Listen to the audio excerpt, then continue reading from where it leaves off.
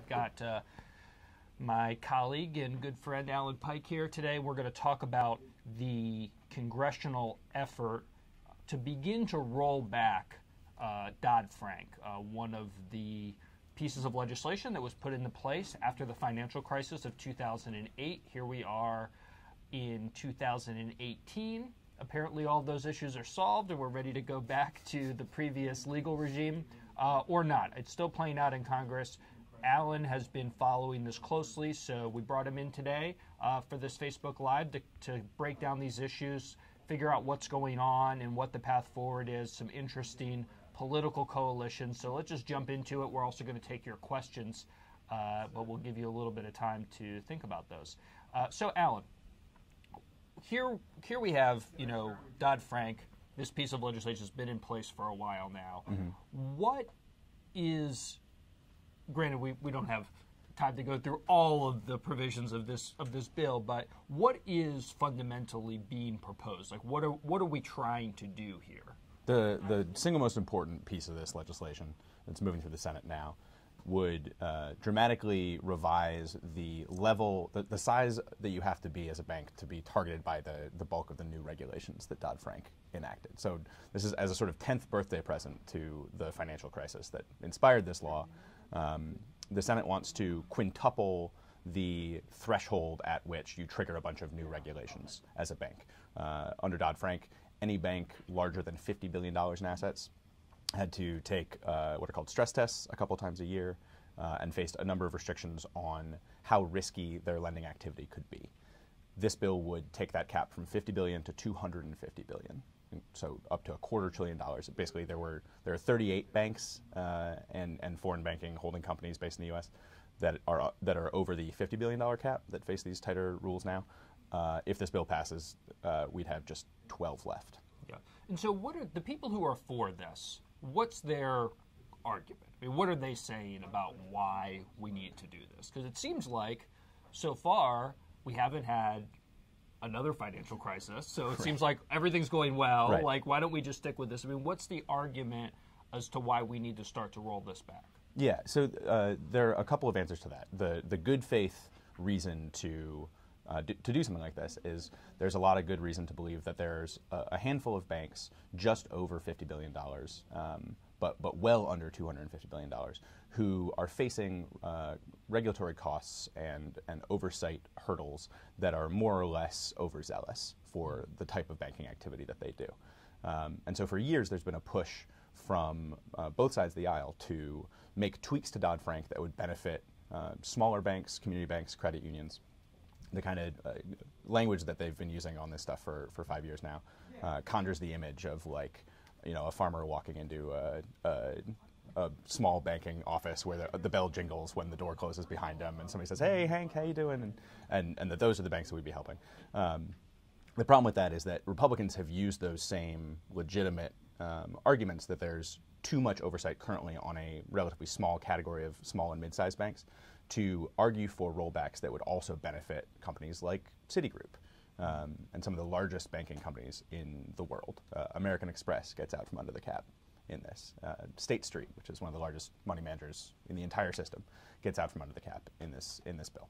Um, but the the the core provisions of Dodd Frank are very costly to comply with compared to how banks have operated in the past. So the banks don't like it because they have to hire a bunch of new lawyers and a bunch of new accountants to do the math required to comply with this law. Um, and credit uh, could be a little bit smoother down at the small regional banking level if we eased some of these oversight rules from Dodd Frank for these small banks. The problem is using those legitimate concerns as a sort of a Trojan horse um, to advance uh, a package that, that is also a giveaway to the largest banks in the system. And caught up in the middle of that contradiction are, uh, it first seemed like a dozen Democrats, now it's 17 Democrats that voted to advance this bill, that, that declined to stop this bill dead in the Senate. Right. So there's a bit of a kind of inter-party feud among the Senate Democrats. Uh, you know, you have 17, which is a good portion of the Democratic Yeah, it's basically a third of the caucus. Democratic caucus. Wh- what is kind of either what's the conversation going on between the two sides? I mean, what's or Sure. what's what's a debate that's going on between the two sides? Sure. So the the two uh, the two Democrats who become sort of the face of Democratic support for this bill, although they're not they're far from alone here, are Heidi Heitkamp and Jon Tester. Both of them were involved pretty early on in helping to craft it, along with uh, Mike Crapo, the chairman of the Senate Banking Committee, the Republican lead sponsor of this bill. Um, what what Tester and Heitkamp argue is uh, Dodd Frank's crushing banks in our states. Uh, it's become too hard to get a mortgage. Uh, it's become too hard to get a small business loan. We could have the same safeguards, the same basic safeguards as Dodd Frank offers, um, and have slightly looser credit in Montana and in South Dakota um, if we if we pass this bill. And, and we've they they would argue we've crafted it very carefully so that it doesn't include a bunch of giveaways to big banks. Um, it doesn't it doesn't dramatically uh, increase the likelihood of a new crisis. The problem is that's not true. Uh, and you don't have to take our word for it. The Congressional Budget Office, in its scoring of this bill, explicitly says the provisions contained in this legislation make a new financial crisis more likely, and the next crisis, when it happens, more uh, severe. Okay, so and so where are we? Like, where does the bill stand now, and what's the what's kind of the path as to whether this is going to actually happen or not? It's almost certainly going to happen. Um, I would bet a fair bit on that. It, uh, and I say that because it's already passed the only hurdle at which the Democrats could really have stopped it. Um, they, they invoked cloture. Uh, Democrats declined to filibuster last week. Um, there, there's now floor debate. It's, they're expecting a final vote, I think, by Wednesday at the latest of this week. And then it'll kick back over to the House. And most of, there, there'll be a bunch of amendments offered. Elizabeth Warren has a list of like 16 or 17 changes that she is insisting be made before she could support it. Um, and Crapo will be trying to attach a number of other things to get more conservative House Republicans on board because they then have to send it back to the House. Um, the House has already passed a number of bills that include everything in this legislation and a whole lot more. Um, the House wants to gut basically every corner of Dodd Frank.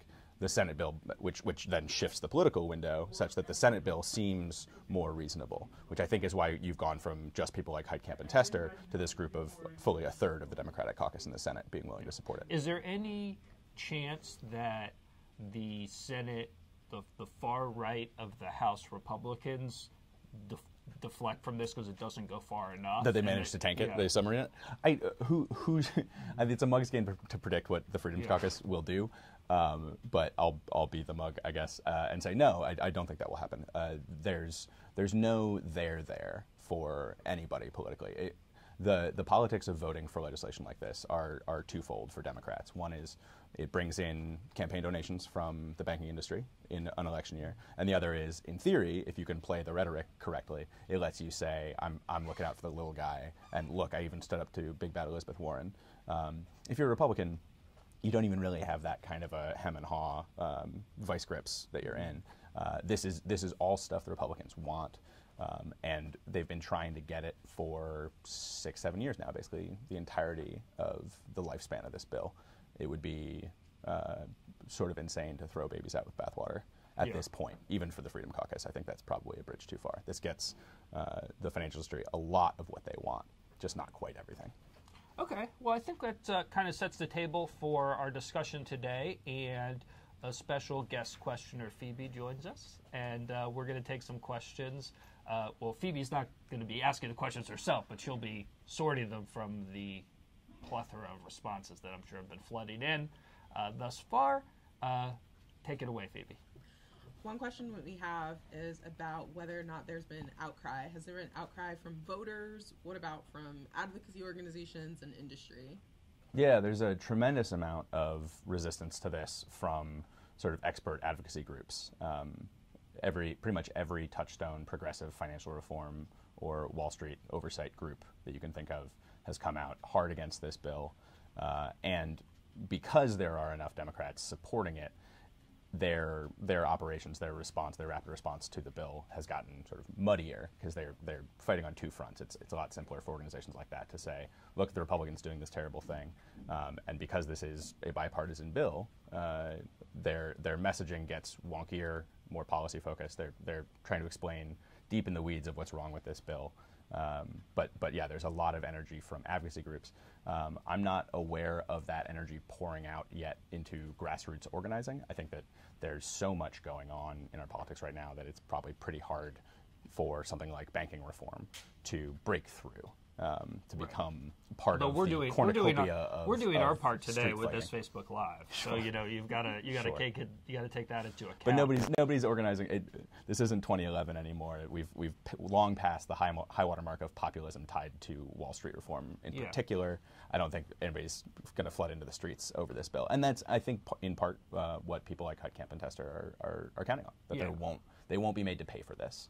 I mean, it's part of the overall difficulty in this Trump era. Is there so many things going on? Sure. That how how can there possibly be attention for everything? Sure. Um, you know, we've got a major march on, on gun control coming up in a couple of weeks. There's uh, just been a huge push on DACA where we weren't able to have any kind of coalition come together. This seems to be the only thing that people uh, have been able to agree on is uh, rolling back uh, Right. financial regulations. Right. Um, okay, we've got more questions. Let's go.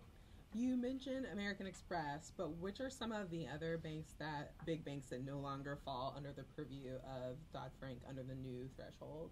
Sure. So uh, under the current current law threshold of fifty billion dollars, there are thirty eight um, banking companies that that are subject to this higher scrutiny. Again, under the higher cap, there would be just twelve. So here's some of the, the names that you might recognize that drop off of that list. Um, M&T Bank, whose name is all over the Baltimore Ravens football stadium. Uh, Regions Financial Corp, who I believe also have a stadium uh, to their name. Uh, BNP Paribas, UBS, Credit Suisse, uh, Fifth Third Bancorp, Barclays, Ally Financial, SunTrust, BB&T is just a sampling. So uh, you may have noticed in that list there are a number of very large bank companies based in the U.S. but subsidiary to foreign banks. It's another area that's really alarmed a lot of progressives and Democrats in this legislation is that it would seem to make it a lot easier for foreign banking companies in the event of a new crisis to evade U.S. regulation. Yes. So these this is not a this is not legislation that's simply about you know a, a credit union or your re- local or regional bank. I Right. mean these are major national Right. banks that Right. are now going to be exempt from. Right. the And we've really and we've really only talked about this this aspect of uh, the bill so far. The, the the threshold for who is subject to this more stringent oversight. There are a number of other things tucked into this that would affect much much smaller banks. Um, like 85% of all uh, banks and home mortgage lenders in the United States would be let out of new requirements um, governing their lending uh, in Dodd Frank if this were to pass as as it as it's presently formulated. Since the the idea is that getting um, that increasing this threshold would be a bad thing, can you talk a little bit about how Dodd Frank was successful in the first place and why ultimately it needs to be preserved? Sure. Yeah, it's it's always sort of uh, difficult to prove a negative when you're talking about uh, regulatory safeguards designed to prevent something from happening and how have they worked. And it's it would be simplistic to say, well, you know, they haven't worked because we haven't had a repeat of the crisis in the past ten years. Um, the the meat of what Dodd Frank tries to do is to require the largest banks and financial companies to be a little bit less messy, a little bit less risky in how they conduct their business, um, and to ensure that if when when the risks they do still take uh, cause somebody to fail, cause somebody's balance sheet to go underwater, uh, that taxpayers won't be on the hook for bailing them out. Uh, that's the sort of central selling point to voters of Dodd Frank back in, in 2010 is that it's a it's a bill to end bailouts. Um, by its nature, there are a bunch of provisions in Dodd Frank that we won't know just how, just who was right on the detailed arguments about, you know, this or that piece of financial regulation nitty gritty, un- until there is cause to use them. So until we have another massive wave of bank failures, um, we won't know exactly how successful Dodd Frank has been, but it's pulled a lot more. Uh, uh, liquidity into banking, it's made bankers less able to gamble with somebody else's money effectively.